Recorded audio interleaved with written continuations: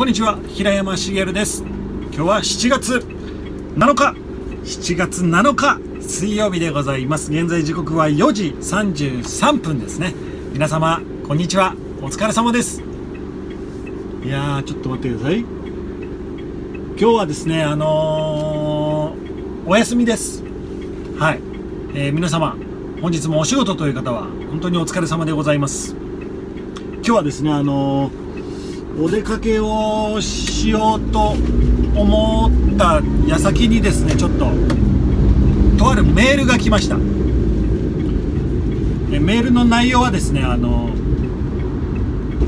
フジテレビの、まあ、ニュース番組ニュース番組担当者様からメールが来ました、えー、平山茂様。えー、ちょっとある事件がありましてその参考になる動画をあなたの YouTube で見つけましたと。あなたのあなたにたどり着きましたというようなね、え、あなたの動画を使わせていただけませんかというようなメールが来ました。まあ私の方はもうすぐ、えー、お役に立てるならどうぞという感じでね、まあ、簡単な返事をしました。そうしましたらまた返事来まして、えー、では使わせていただきますというようなメールが来ました。ちょっとメールの画像とかは使っていいのかよくわからないのでまあ YouTube にはあげませんけども。なので、えー、今日のですねフジテレビの夕方のニュースですね「ニュースイットというカトパンさんがキャスターを務める番組で、えー、使われるんじゃないかということなんですけれども、まあ、どういう事件がそもそもあったのかというと、あのー、神奈川県の川崎市に、えー、夢見ヶ崎動物公園とかいう そんなような名前の、あのー、まあ、動物公園があるんですけどそこでですねあの鳥さんオウムの種類だと思うんですけどヨウムという鳥がいるんですがそこのヨウムさんがね盗まれちゃったらしいんですよ。盗難にあったんです檻から檻をなんかこじ開けて盗んだやつがいるらしいと。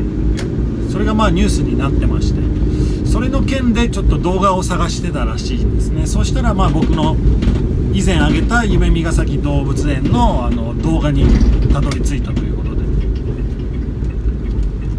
まあ、なのであのー、動物の映像がね使われるということでございます。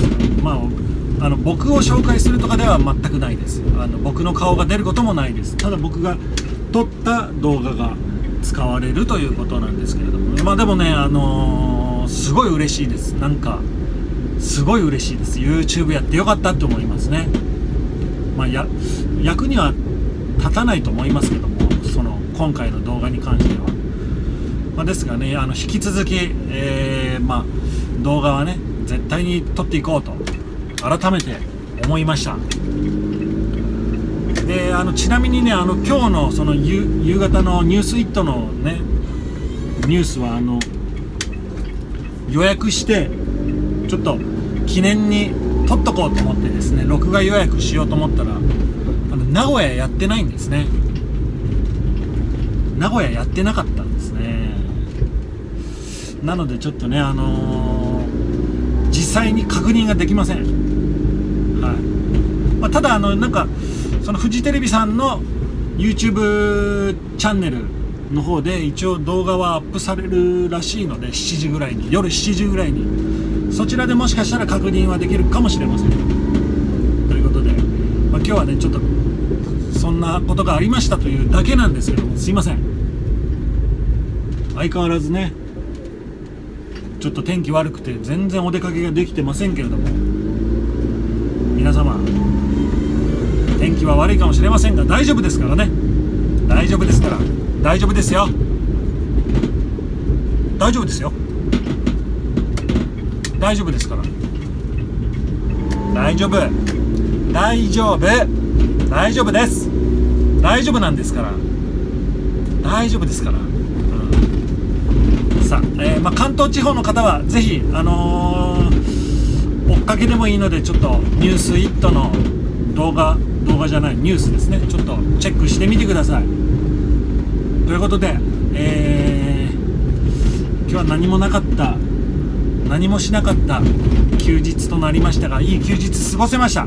ありがとうございました。ということでまた明日ですね。また明日お会いしましょう。それではおやすみなさい。平山茂でした。ニュース見てね。